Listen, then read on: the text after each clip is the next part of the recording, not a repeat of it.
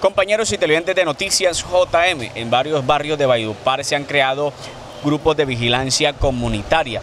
Estos grupos han ofertado a los vecinos, pero también han hecho amenazas implícitas de que si estas personas no se unen a esta vigilancia comunitaria pueden ser objeto de robo. Personas del común que dicen ser de grupos de vigilancia privada. Están haciendo visita a los habitantes del sector de Villarrosario y de otros sectores de Valledupar. De manera condicionada están ofreciendo servicios de vigilancia y dicen a personas de viviendas que si no los contratan los van a robar, pero que si los contratan nadie les robará como quien dice, tienen que contratarnos porque si no, les caerán los rateros y les robarán. Frente a esta situación, algunos habitantes hablaron con la Policía Nacional sobre este grupo de vigilancia y la policía manifestó que estos grupos no son legales porque no tienen registro de legalidad. Hay que tener mucho cuidado con lo que están haciendo estos grupos en algunos sectores de Valledupar.